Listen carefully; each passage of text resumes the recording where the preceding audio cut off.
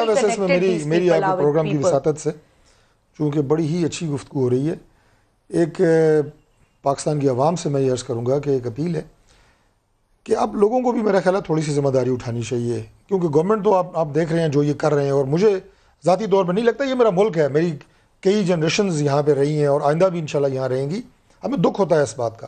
اور میرا خیال ہے اس حکومت کی بڑی ایک خوش قسمتی تھی ابتدائی دنوں میں کہ جب متفقہ طور پہ اپوزیشن نے کہا تھا کہ کوئی آپ بہتری کا کام کریں گے، ہم ساتھ دیں گے۔ اپوزیشن کا رویہ مثبت رہا۔ ابھی تک ان کا رویہ یہ ہے کہ ملک میں بہتری ہو۔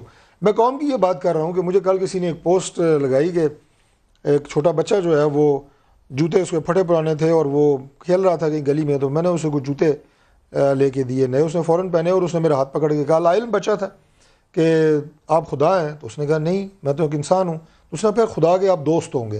کیونکہ میں نے خدا سے صرف خدا سے مانگا تھا کہ مجھے ایک نئے بوٹوں کا جوڑا چاہیے اور آپ یقیناً خدا کے دوست ہیں۔ تو خدا کا دوست بننا بڑا آسان ہے۔ کچھ ذمہ داری قوم کو بھی لینی چاہیے۔ ہم جہاں اور بہت زیادہ، میں تو کہوں گا اسراف بھی کرتے ہیں۔ بہت زیادہ ان لوگوں کو جو امیجیٹلی آپ سے اٹیچڈ ہیں، عزیز ہیں، دوست ہیں، رشتہ دار ہیں، جو آپ کی گلی محلوں علاقوں میں رہتے ہیں۔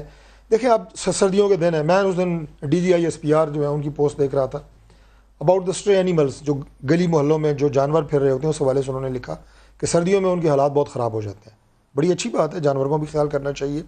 لیکن کیا جو انسان ہیں ان کے سردیوں میں جو جو یہ بات ابھی یہاں پہ اعداد و شمار ڈسکس ہو رہے ہیں ان انسانوں کے سردیوں میں کیا حالات ہیں؟ میں نے لوگوں کے کو اور بے ان گھر ایریاز میں کیا گیا دیکھا اس ہے۔ حکومت میں؟ وہ اور بے خود گھر ہوئے ہیں پہ اپنے محل مائگریشنز کھڑے کیے ہوئے ہیں۔ لوگ آئے ہوئے ہیں ان کے پاس گرم کپڑے نہیں ہیں کھانے پینے کی اشیاء نہیں ہیں۔ یہ جو چالیس فیصد لوگوں کی بات اچھا، ہو رہی ہے سیاسی جماعتیں انہیں بالکل ضرورت ہے اس بات کی۔ دھرنے کے دنوں میں بڑے جائے۔ جا کے ان کو ویلکم کر رہی تھیں۔ تو میرے خیال میں ایک اس طرح کی ایک کیمپین رن کریں آپ بسم اللہ کر لیں شروعات کر لیں بالکل ضرور ایک کیمپ۔ لگائیں جہاں پر آپ وہ گرم کپڑے پرانے ہی لا کر ان کو ڈونیٹ کرنے بالکل جی شروع میں کریں سمجھتا ہوں کہ اس میں ہمیں کچھ کھانے کی چیزیں ان چیزوں کو بھی لیڈ شروع کرنا کریں۔ چاہیے آپ یہاں ان کو۔ کیمپ دھرنے والوں کو ویلکم کرنے کے لیے کیمپ سجایا ہوا تھا نا تو یہ انیشیٹو لیں آپ